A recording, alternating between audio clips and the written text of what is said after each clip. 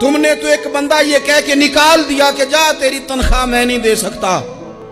लेकिन क्या पता कि उसकी तनख्वाह की वजह से ही बाकी सारा कुछ भी आता हो। क्या पता कि उसी के सबब से अल्लाह इनाम फरमाता हो। लिहाजा इन रूहानी मसाइल का भी थोड़ा सा ख्याल करें।